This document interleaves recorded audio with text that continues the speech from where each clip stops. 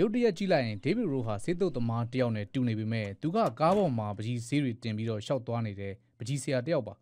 ဩစတြေးလျနိုင်ငံမှာရှိတဲ့ကမ်းခြေမြို့ငယ်လေးဖြစ်တဲ့လူစင်တာမြို့လေးရဲ့မနက်အာယုံတက်ချိန်တိုင်းလမ်းဘေးကဓာတ်တိုင်တွေမှာပကြီးဆွဲနေတဲ့သူ့ကိုတွေ့ရနိုင်ပါတယ် and actually paint. It's nice, and and no one's telling. ဒီကိုမနေ့စောစောလာပြီးပကြီးရေးရတာတိတ်ကောင်းတယ်ဗျ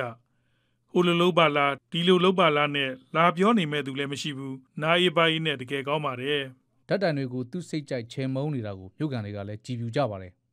everybody and have a look at the bowl. Yeah, Not quite like the ပြလိုက်တဲ့လမ်းလျှောက်ပြီးရှောက်ကြည့်ရတယ်လို့ပေါ့ဗျာ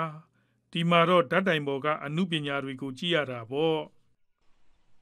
ရိုးတယောက်ဓာတ်တိုင်တွေမှာပကြီးတွေရေးလာတာနှစ်20ရှိပါပြီ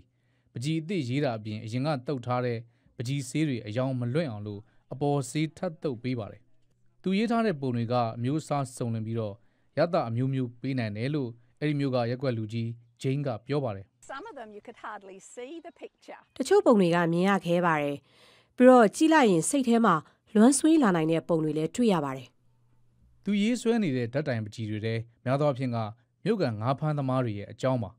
ပြီးခဲ့တဲ့နှစ်ကကင်ဆာနဲ့ဆုံးသွားတဲ့ငါးဖမ်းသမားဝေါ်တာပုစကာရဲ့ဇနီးလီဆာကသူ့ယောက်ျားပုံရေးဆွဲထားတာကိုသဘောကျပါတယ် In 20 years' time, if we look after it, အနှစ်20လောက်ဒီပကြီးကားကိုကျမတို့သေချာထိမ့်သိမ်းထားနိုင်မယ်ဆိုရင်ကျမယောက်ျားပုံကဒီနေရာမှာရှိနေမှာပဲလေကျမကတော့သဘောကျပါတယ်ဓာတ်တိုင်တွေမှာစီးရရတဲ့အကြောင်းပြချက်တဲ့လမ်းသွားလမ်းလာတွေနဲ့စကားပြောချင်လို့လဲပါတယ်လို့ရူကပြောပါတယ် and someone turns up, a little old lady turns up. ဓာတ်တိုင်မှာပကြီးဆေးရေးနေတုံးတယောက်ယောက်ရောက်လာပြီးတော့စကားစမြည်လာပြောတဲ့အခါလဲကြုံရတာပေါ့သူတို့ပြဿနာတွေနားထောင်ရင် အလိုက်တင်လိုက်ပြောပေးရတာပေါ့ဒီမျိုးကလူတွေကခင်စရာကောင်းပါတယ်လူကြီးတစ်ထောင်အောက်ပဲရှိပြီးပကြီးပြကန်းတွေပြတိုက်တွေမရှိတဲ့ကမ်းခြေမြို့လေးလူစင်တာမှာဓာတ်တိုင်တွေကပကြီးကားတွေအဖြစ်နေရာရလာနေပါတယ်ခင်ဗျာ